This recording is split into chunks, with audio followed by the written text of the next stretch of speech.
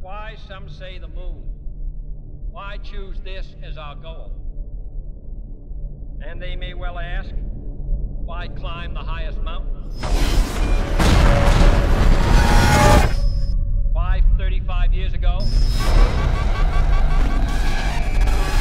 fly the Atlantic? We choose to go to the moon and do the other thing, Not because they are easy,